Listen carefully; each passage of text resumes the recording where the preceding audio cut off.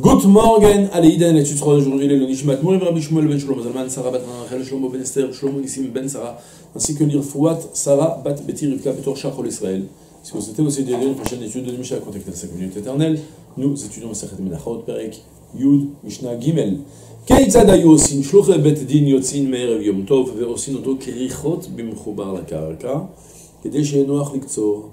וכל היערות הסמוכות לשם מתכנסות לשם. כדי שיהיה נקצר בעסק גדול. כיוון שחשכה, אומר להם, באה השמש, אומרים הן, באה השמש, אומרים הן, מה גל זו, אומרים הן, מה גל זו, אומרים הן, קופה זו, אומרים הן, קופה זו, אומרים הן. בשבת אומר, בשבת אומר להם, שבת זו, אומרים הן, שבת זו, אומרים הן, אקצור, והם אומרים לו קצור, אקצור, והם אומרים לו קצור. שלוש פעמים על כל דבר ודבר, והם אומרים לו הן, הן, הן. וכל כך למה? מפני הביתוסים שהיו אומרים שאין קצירת העומר במוצאי יום טוב. Des mots qui doivent sûrement rappeler à beaucoup d'entre vous qui, lorsqu'on commence le, à lire le Homer, le premier soir, c'est-à-dire le lendemain de, du premier jour de Pessah, la sortie du Yom Tov, on commence la mise du de la Sfirat Homer, et il y en a beaucoup qui lisent le rituel qui était fait justement, qui est issu de toutes nos Mishnot et Gemarot, un texte qui a été rédigé, et donc on voit, on répète trois fois les mots Magalzo, Rumhen. Maintenant, aujourd'hui, on va comprendre qu'est-ce qu'on raconte quand on fait ça. C'est important de comprendre pourquoi précisément euh, chaque terme, et on va tout de suite expliquer. Quel aussi? On commence à traduire? Non, avant de traduire, je vous rappelle la problématique qui va, être en fait explicitée à la fin de la Mishnah. Je préfère moi commencer par là pour vous, comme ça vous allez comprendre la nécessité de chaque chose. De manière générale, la Torah l'a dit, euh,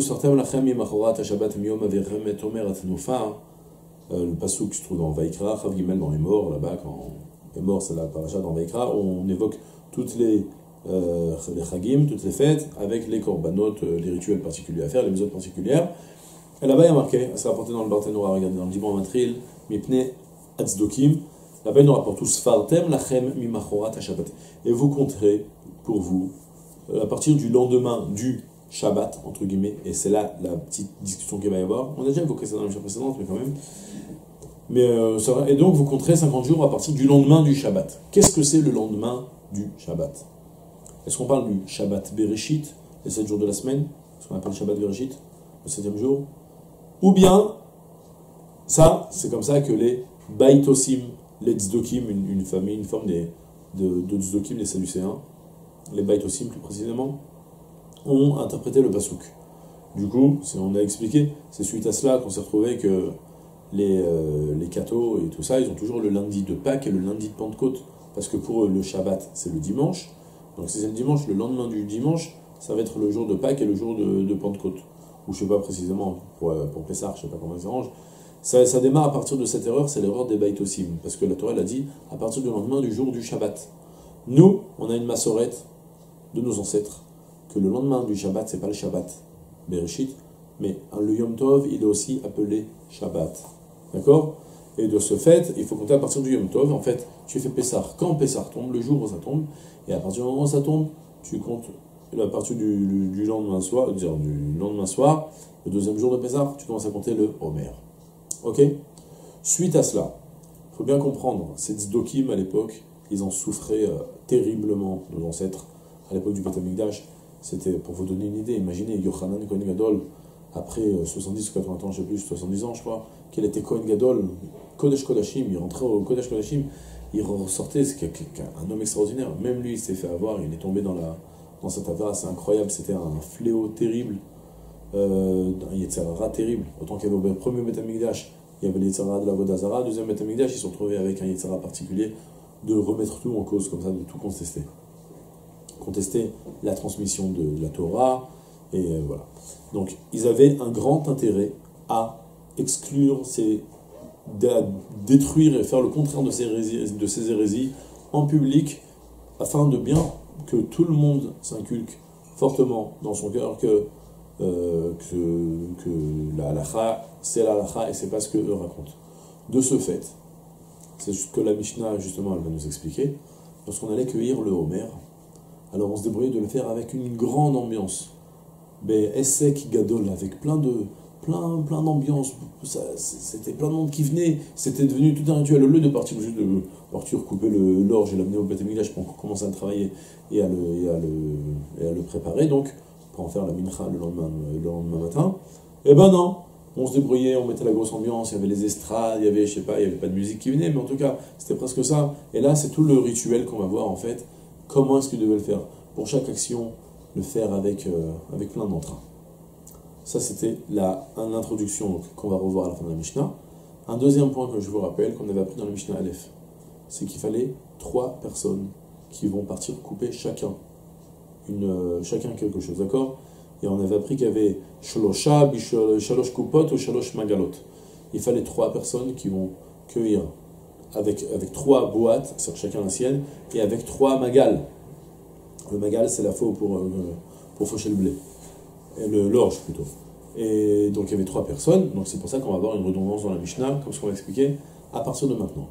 aussi Comment procédait-on pour, euh, pour aller cueillir l'orge?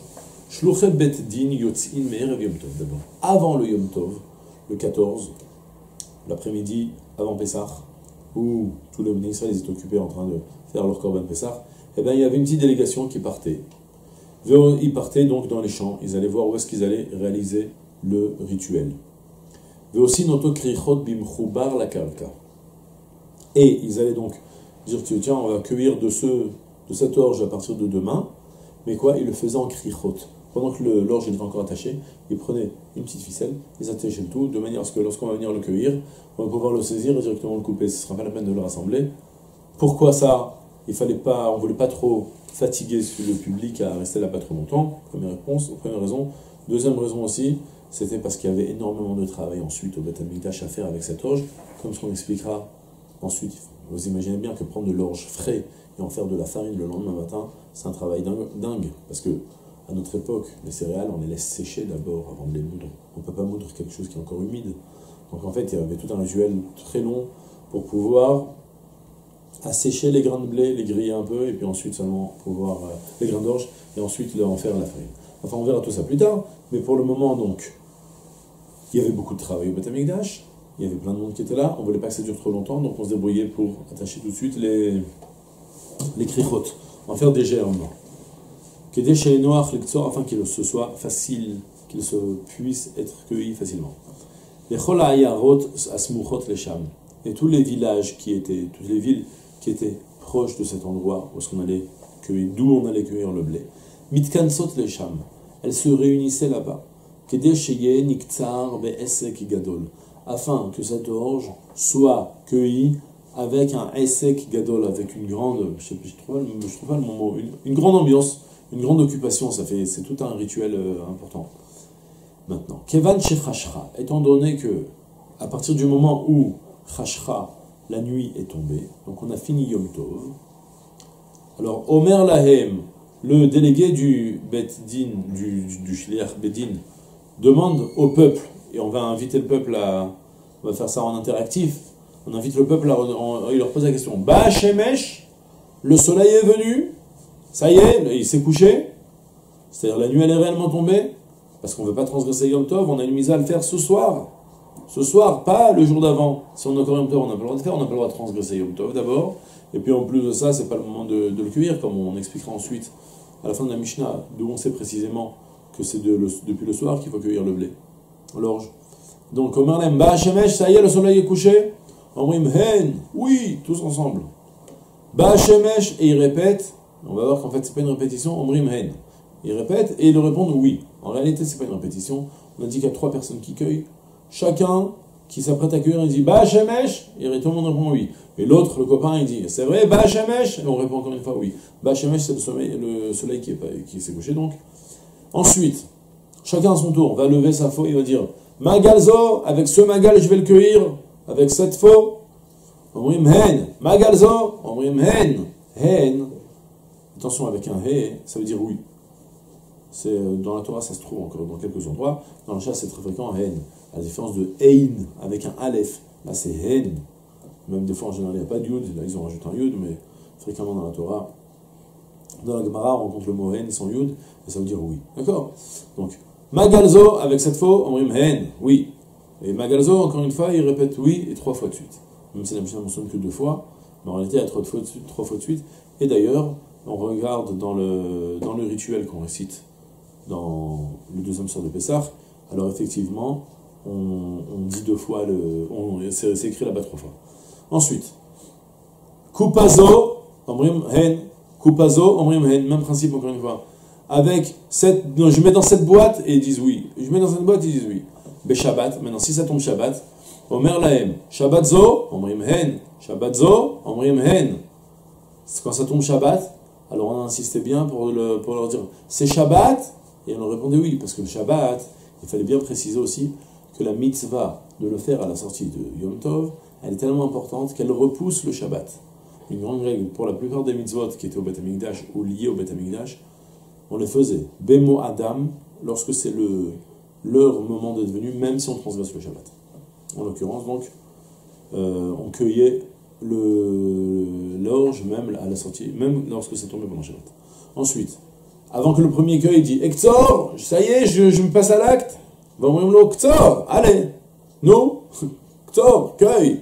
Et l'autre encore une fois, et moi aussi, Ektor, Ktor. Shalosh Pa'amim, alcool davar bedavar. Trois fois pour chaque étape et, chaque étape et chaque étape. D'accord? Parce qu'ils étaient trois personnes. Vehem omrim et le, tous les gens qui étaient présents leur répondent à chaque fois Hen, hen, hen. Oui, oui, oui. Pourquoi il fallait tellement faire une ambiance, un rituel? Là, toi, tu disais le cueillir, va le cueillir, tu prends, tu cueilles, tu reviens. Qu'est-ce que tu es parti faire là? Tu as transformé ça en, en grande. le stade de France, tout le monde est là et c'est la grosse ambiance. Pour faire quoi? Pourquoi?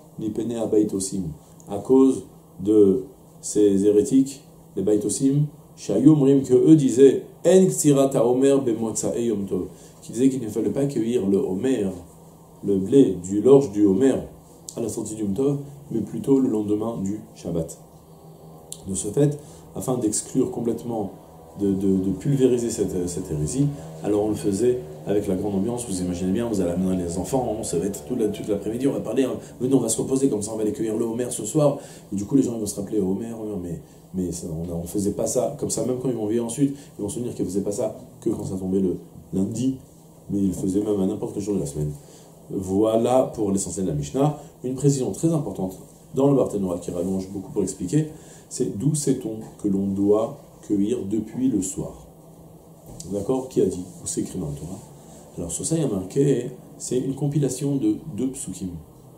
Que, un, vous connaissez sûr, c'est celui de Usartem Lachem Shabbat. Sheva Shabbatot Temimot Tihiena. Il faut compter sept semaines pleines. Pleines, ça signifie que tu démarres depuis le début, depuis le premier instant tu commences à, tu commences à, à compter jusqu'à la fin. Donc ça, c'est la notion plein. Donc, je dois accueillir, je dois compter le Homer depuis le soir, depuis la tournée de la nuit du, euh, qui suit le premier jour de Pessah. Ok Maintenant, quel rapport avec cueillir? Il y a marqué là-bas, Ma'achel bakama atachel ispor. Il y a un autre passage dans Dvarim qui te dit, depuis le moment où tu couperas le blé, tu commenceras à compter. Ben, je déduis donc que je dois compter depuis le soir et je dois compter à partir du moment où je cueille l'orge pour le Homer. De ce fait, je dois cueillir le Homer depuis le soir. C'est là la discussion du Barthénora. Et c'est tout pour aujourd'hui. C'est une journée pleine de. Salam.